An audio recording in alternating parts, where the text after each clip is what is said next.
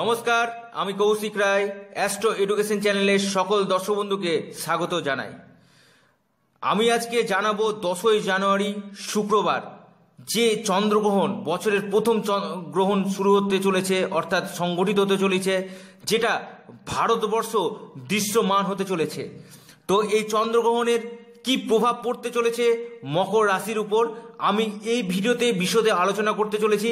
অবশ্যই যেগুলো কুপ্রভাব পড়বে আপনাদেরকে জানাব, অবশ্যই আপনারা সাবধান থাকুন, সতর্ক থাকুন। আমি এটা কোনো আপনাদেরকে ভয় দেখাচ্ছি না।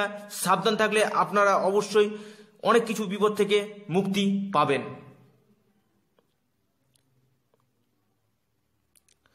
তো মেন বিষয়বস্তুতে আসা যাক।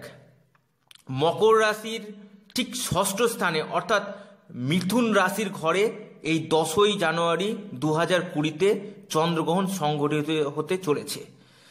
তো ষষ্ঠ স্থান থেকে আমরা কি বিচার করি?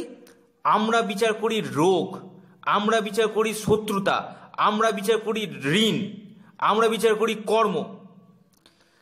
তো প্রথমে যদি আমি বলি এই সময় আপনাদের এই চন্দ্রগ্রহণের ঠিক এক মাসের মধ্যে আপনারা সাবধানে থাকুন।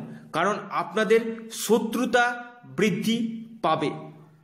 অ মানে আপনাদের যেটা আশা করেননি, অযাচিত শত্রু যাকে বলে, এরকমও শত্রুতা আপনাদের এই একটা মাসের মধ্যে হতে পারে এবং আপনারা কথার মধ্যে মধুরতা রাখুন, দেখবেন কিছুটা হলো শত্রুতা আপনাদের কমবে।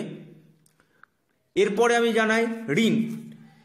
যেহেতু ষষ্ঠভাবে ঋণ ঋণ আমরা বিচার করি জ্যোতিষশাস্ত্র অনুযায়ী, আপনারা এ সময় কাউকে ঋণ দিবেন না এই একটা মাস মানে চন্দ্রগ্রহণ যবে থেকে শুরু হচ্ছে, অর্থাৎ দশই জানুয়ারি থেকে, আর ঋণ নিবেন না। সেক্ষেত্রে দেখবেন আপনাদের ভালো হবে।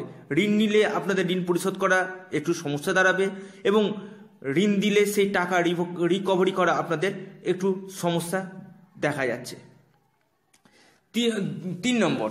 আমি আপনাদের বললাম, এবার হচ্ছে স্বাস্থ্য। স্বাস্থ্যের দিকটাতে আপনাদের একটু সমস্যা আসতে পারে। কিছু কিছু ছোট- ছোটোখাটো রোগ ব্যাধি এ সময় আপনাদের হতে পারে একটা মাস।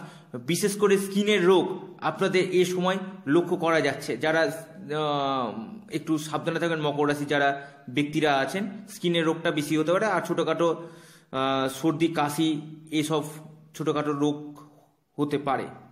এরপর আসি কর্মক্ষেত্রে। কর্মক্ষেত্রে একটা মাস আপনাদের খুব চাপ বৃদ্ধি পাবে।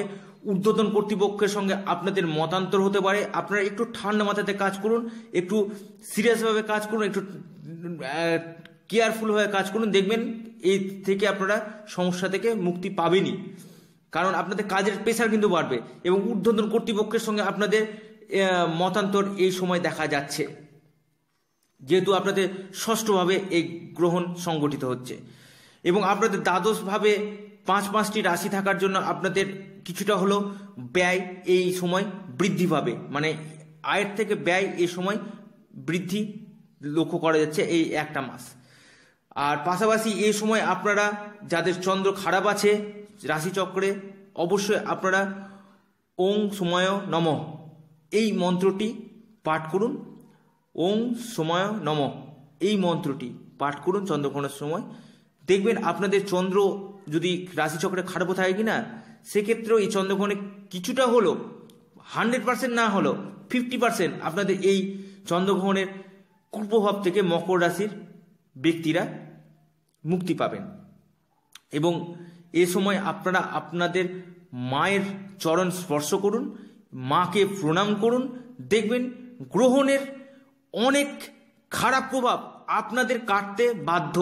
আমি কৌশিক রায় দায়িত্ব নিয়ে বলছি, আপনারা গ্রহণের পরে আপনার মায়েরকে প্রণাম করুন, মায়ের চরণ স্পর্শ করুন। আপনাদের এই চন্দ্র গ্রহণের সময় এই কুপ্রভাব কাটবে এবং নারী জাতির সঙ্গে ভালো ব্যবহার করুন। তো ভিডিওটি এ পর্যন্ত